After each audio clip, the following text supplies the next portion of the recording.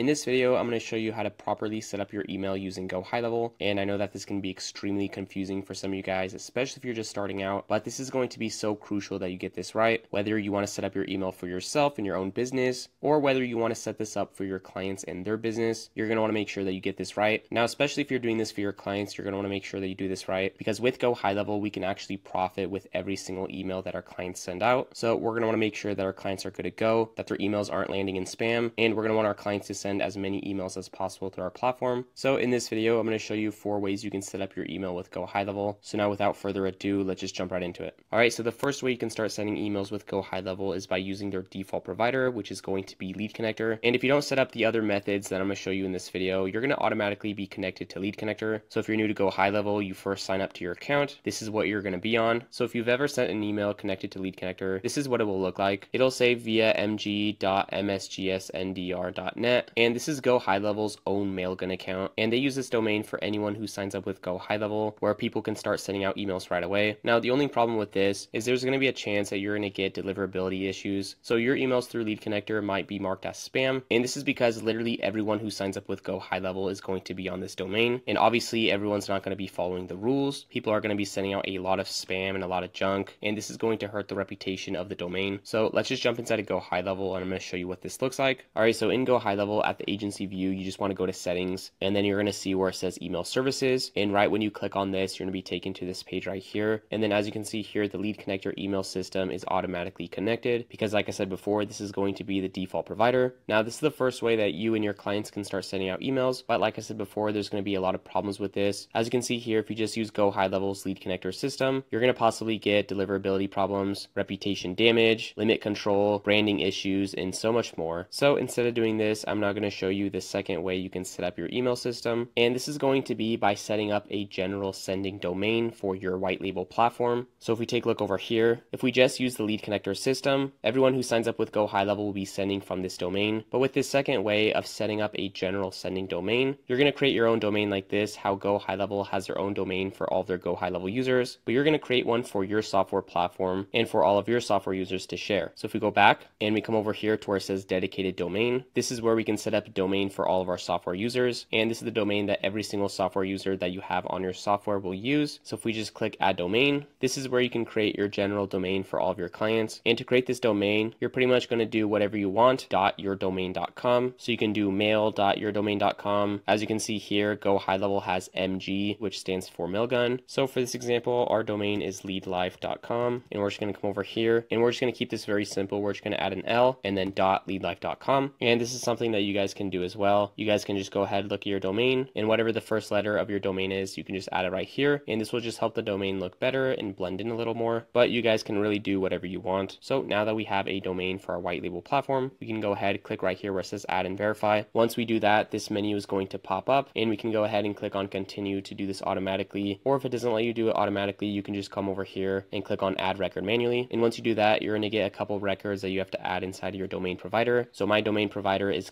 Cloudflare. So I'm just going to go inside of Cloudflare and add these records inside of my DNS settings. So I'm going to show you what that looks like now. So here we are inside of Cloudflare and all I did was click on my domain and then I went over here to where it says DNS and then I clicked on records and this is where you're going to want to add those records. So I'm just going to click right here where it says add record. Now we're just going to go back to go high level and the first record is going to be TXT. So if we come over here to type, we're going to come over here till where we see TXT. For the name, we're going to copy this right here, paste that right here. And then for the content, we can go over here, copy this value, and paste this value right here. And then when we're done with that, we can go ahead and save this record. Now we can go ahead and add the second record. So again, it's going to be a TXT record. So we're just going to go over here, click on add record, go until we see where it says TXT, copy this, paste this right here for the name. And then for the content, we can go ahead and copy this value and then paste that right here and then click on save. And then the next record is going to be a CNAME. So if we go over here, click on add record, we're just going to do CNAME and then we're going to copy the host, paste that right here. For the target, we're going to copy this value, come over here, paste that right here, and then we can just switch proxy status off and then let's go ahead and save this record. Now let's go ahead and finish doing this. The next one is the MX record. Let's go over here, add record, click on MX, come over here, copy this, paste, and I think you guys get the point. This might look a little confusing, but it's really not. And most likely, if you have your domain through Cloudflare, you can do this automatically. So now I'm going to quickly do this last record. This one, again, is going to be an MX record. Paste in that value, copy this, paste this right here.